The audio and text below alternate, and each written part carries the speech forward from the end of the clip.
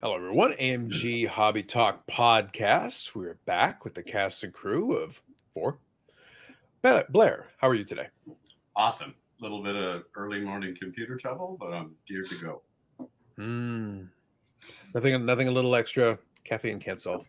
That that solves all problems. That's true. Steve, collector of the scalps, collector of the people, collector of things. How are you? uh, five pounds heavier because I demolished the scallops on the weekend. Excellent. So the scallops did not. Did you get any recipes though? Did anyone offer any, or did you just go for it? I, I was too excited, so I just winged it. Threw some bacon on them, butter, uh, everything that's not good for you. I threw it on there. It was delicious. Fantastic, fantastic. Oh, Sherry, God. how are you today? I am wonderful. Excellent, excellent, excellent. So we've got a couple of things we're going to touch on today. Today's going to be a straightforward episode, uh, and then we'll come back with a couple of other things for subsequent episodes. We chatted a little bit with the team, so we've got a couple of things planned down the pipeline for you. Some of them we've kind of alluded to, and some of them will definitely uh, things that are work in progress, and we'll definitely get into it. Now, a couple of quick uh, order notes that we want to talk about. First of all, upcoming this week, uh, end of the week is going to be the trade night. So the trade night is coming up on Friday. Uh, give me a quick rundown. I think it's the usual time usual details? Uh, any modifications or usual no. setup? So last Friday in the month, January 26th, 5 to 8. Be there. Beautiful, beautiful, beautiful. Well, oh, Blair, listen, I might, I might put you to work. I might, I might get you to push the button. You know, like I said, at some point, the dream, and, and I'm just putting it out there because not necessarily this trade night, but one of these days, I'm gonna, I'm gonna press the right buttons. I'm gonna get it, and maybe we'll have a little quick live because I, I what I would love is a little pan, you know, a quick, you know, Q and A, a quick live, not for a long time, but I would love to have that for the channel because I think that'd be fun. Give people yep. a chance to at least experience it briefly, and I think it'd be a, kind of a fun uh, experience for them to see it for themselves. So that's one, and then the other one here, and I'll share the image while we're talking about it, is that the monthly card show will be back coming up this weekend. So following Yay. the 27th, yes. Now, one important thing, kind of sharing with folks, is that one of the key pieces was trying to confirm location, trying to confirm that that's all okay. And that has been confirmed. So I want to be able to show it to you. So let me just take the logo down here for a second so you can see it a little better. There you go. So here it is, January 27th, 9 a.m. to 1 p.m. Uh, Sherry, can you tell me a little bit about this location here, just uh, since yeah. it's a new one? And I will note I made a little error on the number for the street address. It's actually okay. 7101. Um. Even if you put 7071 in, it still kind of comes up. So it's the old Sears outlet on the back side. So the Halifax Shopping Annex. Uh, there's lots of parking. So no worries about that there. That will be our new location for 2024. Future dates will be determined and we'll post as they become available. So mm-hmm. the card show will be 9 a.m. to 1 p.m. Saturday, January 27th. Admission is $2. Perfect. Thank you for that. Wanted to make sure that we got those in because obviously it is uh, a monthly tradition that has been going on, but new location, so it's important to note that. Beautiful. Okay, so we've got that going on here. Uh, no new products to talk about as of yet. A couple of things potentially down the pipeline, but we want to give ourselves a chance to uh, confirm those things before we pass them along to you. Now, we did get some items that came in the shop. And then, like I said, we'll have a little uh, short conversation here at the end, but we'll go through a couple of them. Great variety this time around. We definitely had quite a number of different types of things, which is actually quite nice to have as a change of pace. So let me share that here with you. So we're going to start off with one of these downtowns here from uh, Optic. And this is a Chase Young. Uh, I do enjoy these conceptually. It's one of those things where it's a little bit interesting when they go off the beaten path a little bit on it but there are some times where you kind of sit back. I actually think I understand what they're going for here with the Washington thing, including the elephant and the donkey. Uh, it's kind of a, I guess, an appropriate Washington reference if you kind of get that one. Uh, and then you got a little White House thing. It's always interesting, and I think the Lincoln Memorial as well. And uh, you've yeah. got a couple of other things going on in the background. It's always interesting what they decide to put in the background on these things. I actually didn't even notice the uh, donkey and elephant until you pointed it out. So, yes, that is a very political uh, influence card, I would say. You I like it even more. How could you yeah. not notice them? It's one of those things where you look at the card and you kind of have to. I, that's what I say with the downtowns. I'm always kind of like, all right, what'd you put in the background? What'd you guys do? You know, I, I guess smart for them to include both, but it's kind of interesting when uh, it, it's it's a carefully calculated move if you decide to go down that route. But anyway, they, they did include both, so that so that is on there. I like it. All right, so this one is Josh Jacobs uh, for the Raiders. So we got the Las Vegas Raiders version. Uh, quite a bit going on now. Vegas is now. This one's interesting because uh, there, there's a lot you can do with Vegas, and there's a lot of iconic uh, casinos and landmarks and things that you can do in Vegas. I, I do like that. I think down at the bottom that is, I believe, to represent the Bellagio fountains, which, uh, mm-hmm. if you've ever visited Las Vegas, is actually quite the attraction. I uh, got a chance to see it. You can see the little display of it, so it is very interesting. I do recognize some of those landmarks, the little uh, Eiffel Tower thing that, uh, yeah, that got Paris Hotel. Yeah, exactly. So definitely uh, fond memories of, of attending Las Vegas. So that's a solid one there for Josh Jacobs as well. So that's good. And let's look at a UFC card. So this was interesting. Uh, yeah. So this one was the training shirt, uh, UFC Immaculate from Holly Holm. Now Holly Holmes, uh, I don't know if any of you follow UFC too much, but uh, Holly Holmes' career was interesting. Is that she she's kind of perennial contender. She did become champion, but more than anything, her biggest claim to fame was uh, knocking out Ronda Rousey. And right. indirectly, it didn't end her career in UFC. She did come back to basically uh, lose to Amanda Nunes. Uh, where Amanda Nunes is the one that effectively put in her retirement, but Holly Holm kind of got it started because up until that point, Ronda Rousey had been on a run as champion, and this was the first time that uh, it was kind of the knockout situation, but not unlike, uh, I think it was Buster Douglas who knocked out uh, Mike Tyson, right? That was the that was the infamous fight. But what's funny is there's a parallel here because Holly Holm knocked out Ronda Rousey, became champion, but then in her first defense, she immediately lost it. Yeah. Uh, and then she kind of hung, she's hung around and been a contender for years, but never really recaptured, you know, the, the, the moment where she was able to win that championship. but as a former champion, still uh, a, a, big name in the sport because of that. Once you're a champion like that, you're still a big name in the sport. Yeah. And it's a two of two and it's a pretty interesting looking card with the mm. little logo on it on the training shirt. So definitely a nice little change. Like I said, it's a nice variety of, uh, of items. There was a video that Brad showed me yesterday. It wasn't of her, but I don't remember who it was. Anyway, it's oh. just a oh. little short. And she's like, "Oh, I really enjoyed it. Like it was a great match. I really enjoyed it. Like her face is out to here, her oh. eyes dripping. I'm like, what do you mean? Yeah. it was uh i think it was from the last uh this past saturday's event yeah, think, yeah. yeah they, they had one oh. they had one in toronto yeah they had yeah, I, don't understand she was a mess they're very talented but like yeah I, I can't yeah generally speaking truth truthfully uh, what's funny is that generally speaking mma is actually less dangerous than boxing because yes you can get yes you can get struck obviously you definitely yeah. can but you can also lose by submission so it's mm. one of those things where somebody and the ma- and the matches for the most part, the fights are, you know, a non-title fight is three five minute rounds as opposed to a boxing match where you can get punched for 12 rounds 12 at three three minutes a round. That's why that's why boxers now it's not saying you can't, but for the most part, a boxer you can get knocked down, get hit, and then they give you a standing 10 count. Whereas in MMA, if the referee looks at you and goes, You're out, that's it. We're done. Yeah yeah. you get help right away. like you know, you don't have to you don't have to, to, keep taking punishment. After you've been knocked out, you're knocked out. That's it. Yeah, fight's yeah. over. Yeah, I don't know. So, so I, have I've definitely watched my fair share of UFC, but but you can definitely take punishment. There, yeah. There's some oh, folks who hang in there and take quite a bit. Yeah. All right, this so we got cool. a Giannis. Yep, we got a Giannis Antetokounmpo. I think I got that one. I might. Good job, that a boy. Way closer. Yeah, it's scary to pronounce it. it. It's a tough one. There's a lot of syllables going on. And, and, no, I can't. Yeah. And, and particularly also in the morning, very dangerous when the coffee isn't fully in. Very dangerous thing. Uh, that, that was a dangerous move there. Don't, don't try this. You pulled uh, it. But that's in the zone from Spectra. I like. I'm a big fan of Spectra. I enjoy this. They got a lot of parallels though. Uh, so I don't know the name of this parallel. Couldn't tell you, but I do know it's one of the parallels there. And Spectra is actually a pretty interesting product. And this looks to be on card, which is mm, nice. Yeah. I think that's great.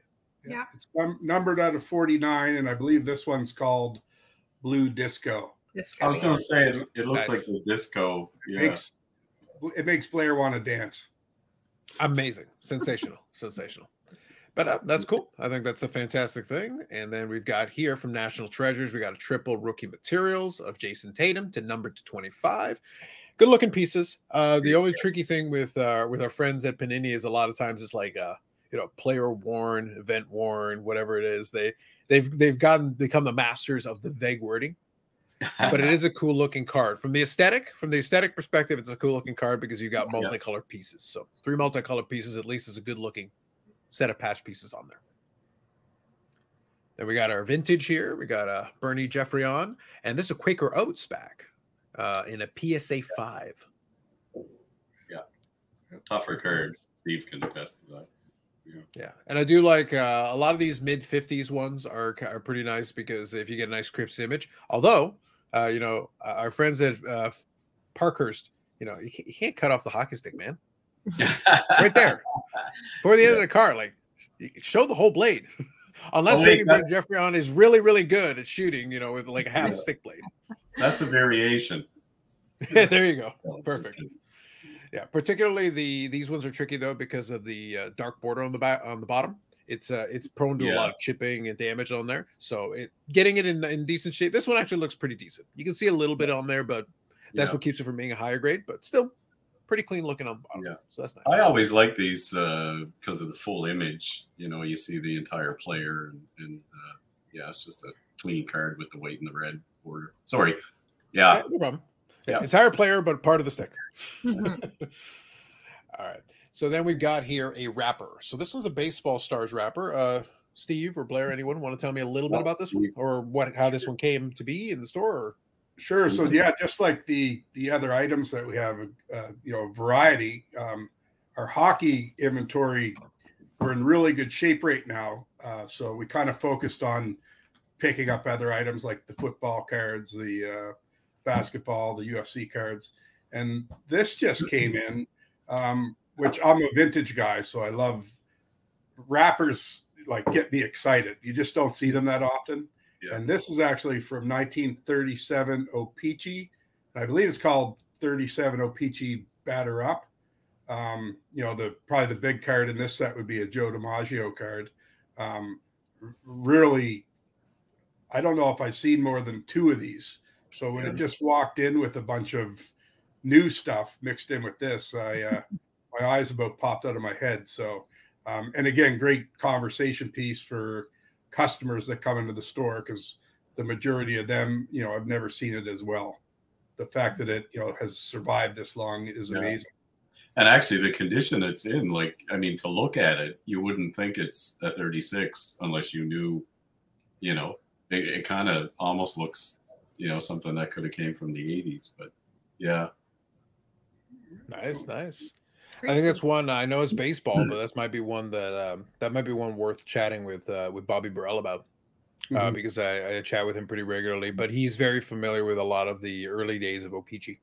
He he did he's done a lot of research on it for the hockey side, especially. But O-Pee-Chee is O-Pee-Chee nonetheless.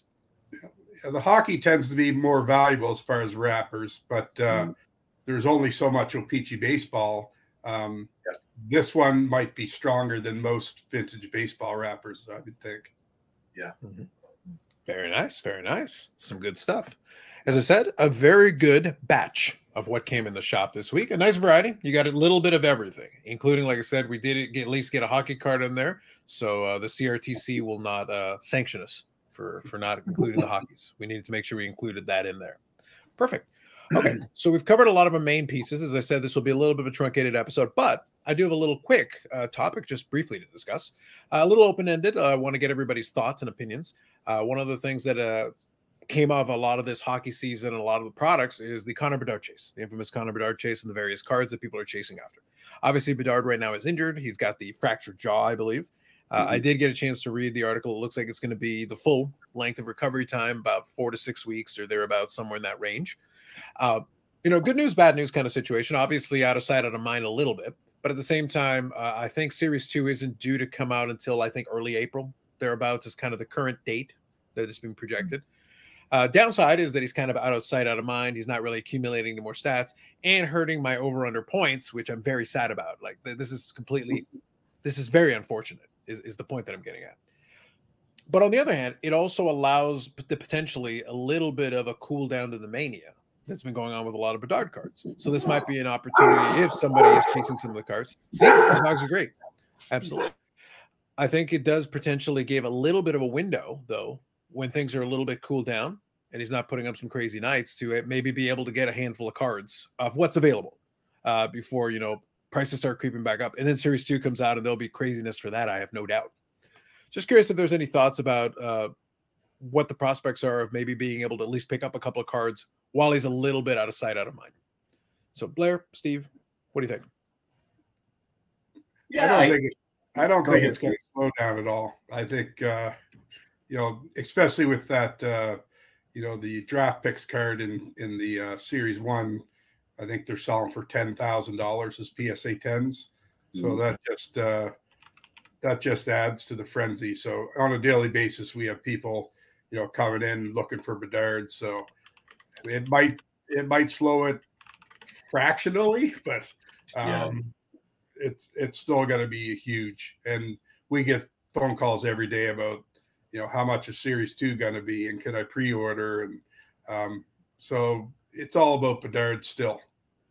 Yeah, and there's not much coming in the store. You know, uh, I think we found some Team Canada, just some base stuff um, that we put in the showcase. It still sells pretty, you know, for a base out of that. You know, um, mm-hmm.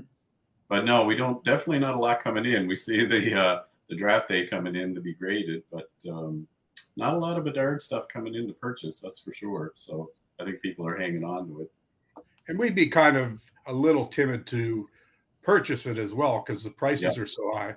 So we yep. definitely uh, wouldn't want to be stuck with something. And then, of course, you know, we would have to make an offer to uh, protect ourselves. And understandably, um, if I was the owner of the card, I probably wouldn't sell it either because uh, when you see what they're selling for, but uh, it's all about uh, you know all about the store and just protecting our vested interest mm-hmm. when we purchase things.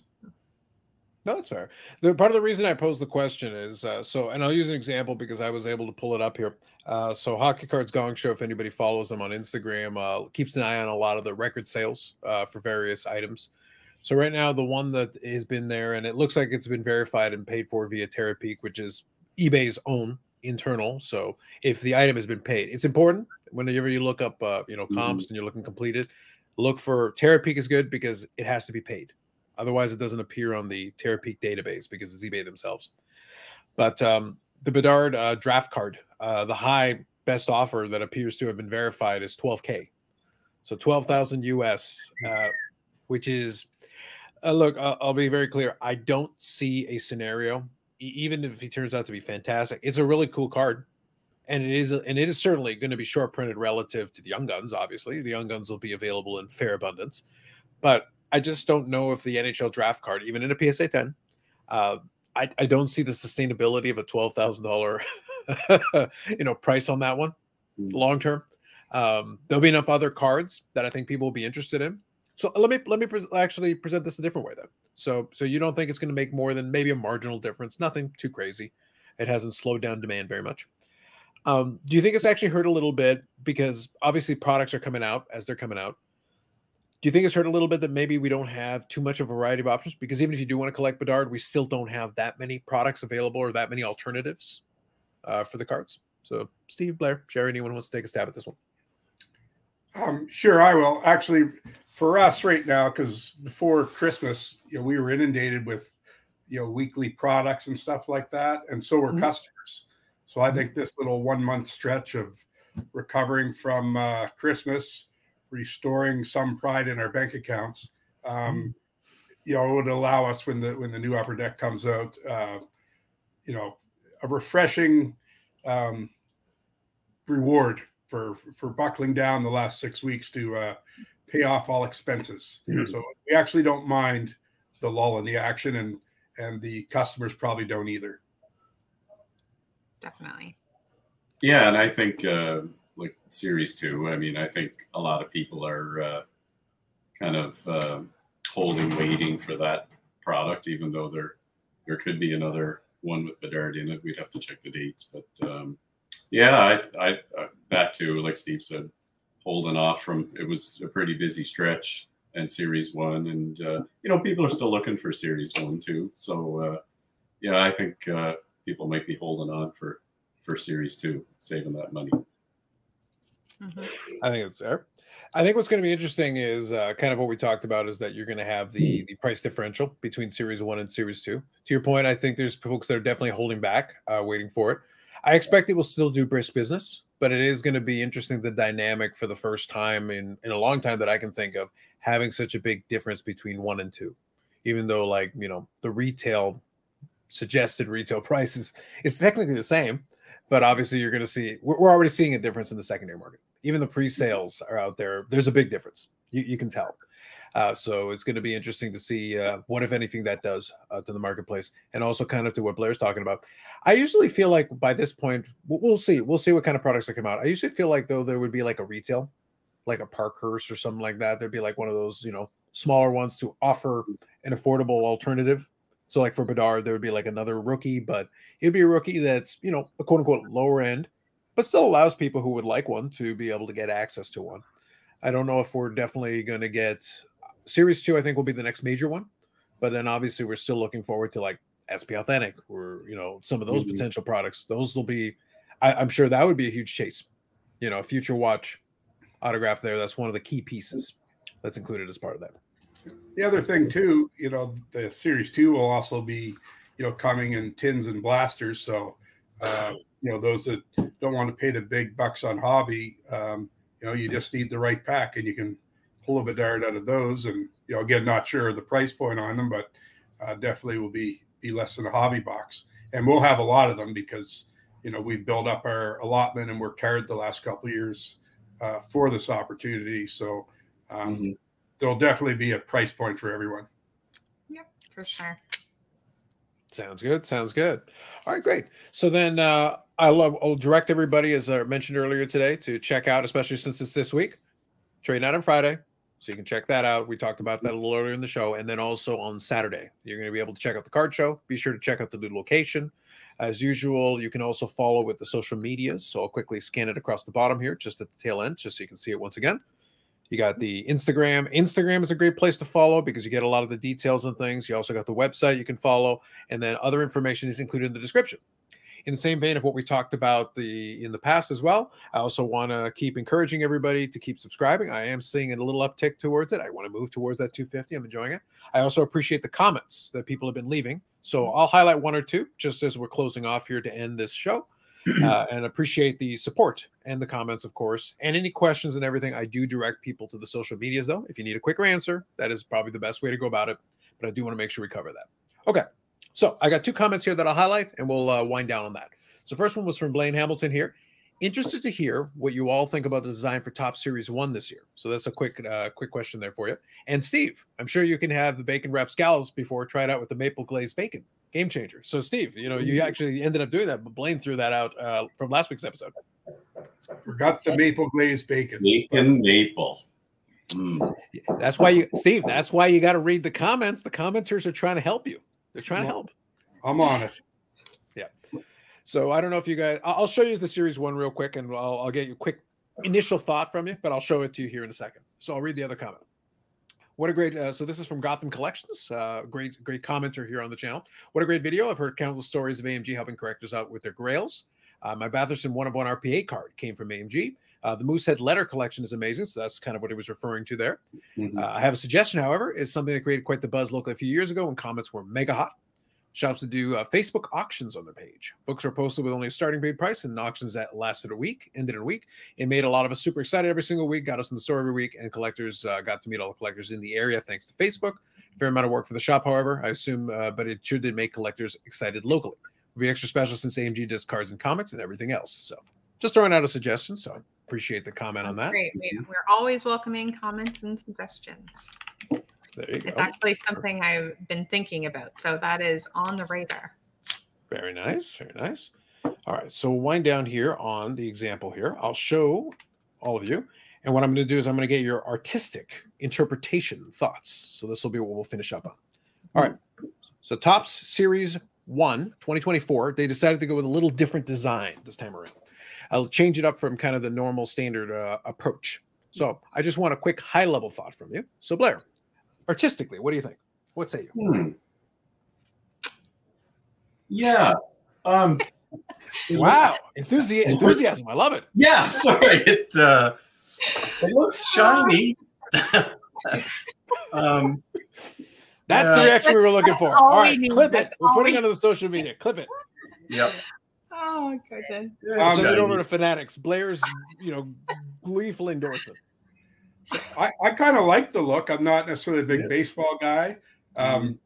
Where the top has the black border, that uh, obviously will translate to, you know, uh, a tough card to grade depending on the print quality. Um, you know, because they will pick up little nicks and stuff like that.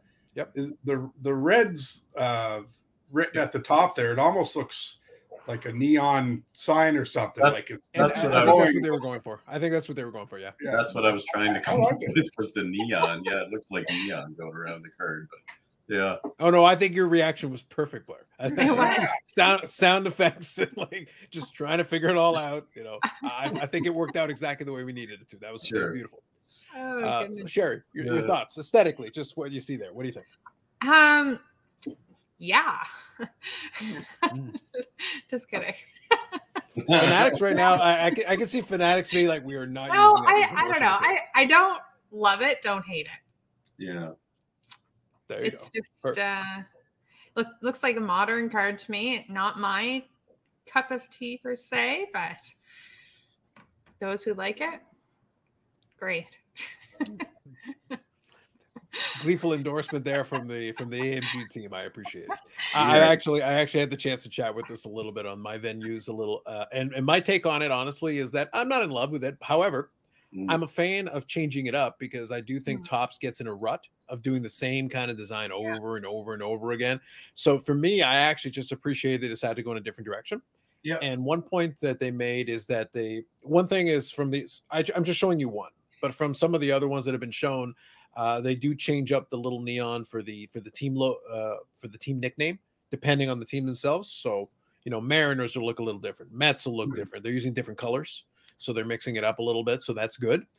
And one point that was made uh, from some folks that I thought was true is I think this will look very interesting in Chrome, in the Chrome format with uh, with potentially that extra shine or refractor version of it. I think it could actually look really cool. I think it would look Uh, it- much better as a chrome. Yeah. So that's going to be so having that as the base means that we're going to get a Chrome version of it. So I think that's potentially going to be very interesting. But again, I, I give kudos to Topps just for trying something different because they do get a little lazy about the designs and just reiterate another version with the white border, another version with the white Mhm. border, small tweak here, small tweak there. At least for a year, try something different. If people don't like it, they'll tell you.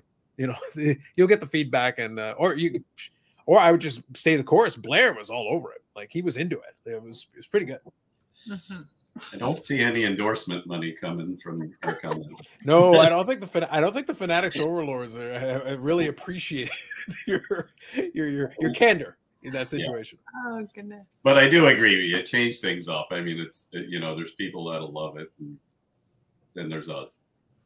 Oh, I think those who won't like it as much as the people who are going to want to grade them mm-hmm, mm-hmm.